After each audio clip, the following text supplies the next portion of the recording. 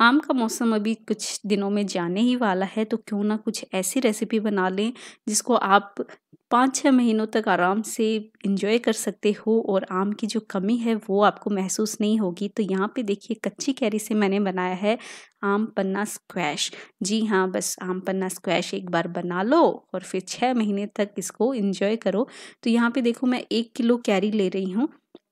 अच्छे से इनको वॉश कर लिया था पहले ही, अब इनको हम बॉईल करेंगे। बॉईल करने के बाद इनका जो गुद्दा है, वो हम निकाल लेंगे और बस इनको अच्छे से दो सीटी लगाने तक बॉईल करके इसका गुद्दा मैंने निकाल लिया। तो मेरे जो कैरियाँ थी ना, वो हल्की सी येलो कलर की थी, इसलिए थोड़ा सा ये येलोइश हो गया है। बाकी आप कोई भी कैरी ले सकते हो, खट्टी होंगी तो ज़्यादा टेस्टी बनेगा। तो अभी मैंने कुछ मसाले लिए हैं, जैसे कि भुना हुआ जीरा, काला नमक, सफ़ेद नमक, काली मिर्च का पाउडर और एक कप मैंने ली है चीनी। इसके साथ ही एक कप मैंने लिया है यहाँ पे फ्रेश पुदीना। तो फ्रेश पुदीना यहाँ पे लेना है तो इससे बहुत ही इसका फ्लेवर ना बहुत टेस्टी सा हो जाएगा, एकदम आपका जो आम पन्ना है ना, बहुत ही टेस्टी सा बनेगा। अगर आपको पुदीना नहीं मिल रहा है तो कोई टेंशन वाली बात नहीं है, आप बिना पुदीने के भी इसको बना सकते हो। पुदीने से क्या है ना, हल्का इसका कलर भी थोड़ा सा चेंज हो जाता है।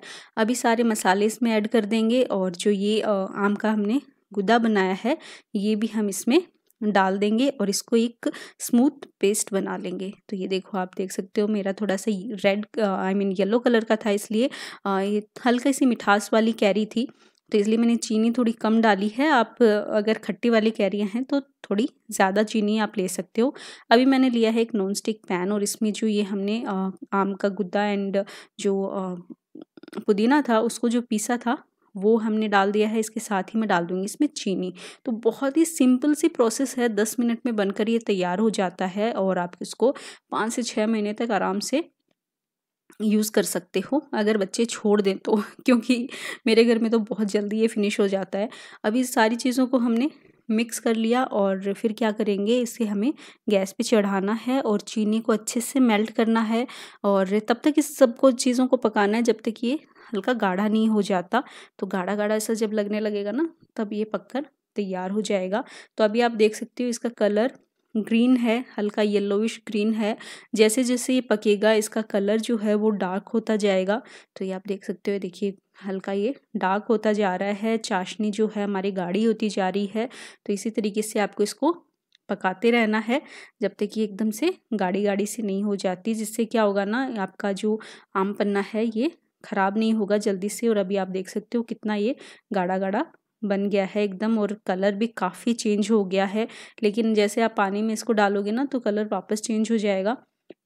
और मसालों की क्वांटिटी ना आप एक बार टेस्ट करके देख लेना, आपको ज़्यादा चाहिए तो आप ज़्यादा डाल सकते हो और जब बनाओ ना, उस टाइम पे आप चेक कर सकते हो अगर आपको मीठा, नमक नमक ये सब ज़्यादा चाहिए, काली मिर्च तो आप वो एक्स्ट्रा डाल सकते हो बनाते टाइम तो ये थोड़ा सा स्टाइलिंग के लिए मैं इसमें जो हमारे ग्लासेस हैं, उस पर थोड़ा सा मैंने पानी लगाया और इस पर नमक, मिर्ची का ये थोड़ा सा पाउडर इस पर लगा दिया।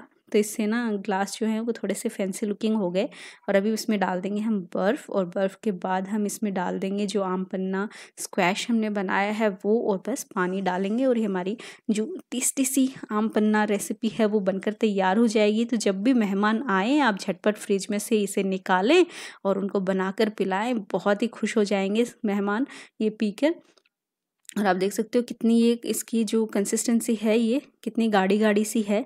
तो मैंने इसको बनाकर स्टोर कर लिया था। ये दूसरे दिन मैं आपको बनाकर दिखा रही हूँ।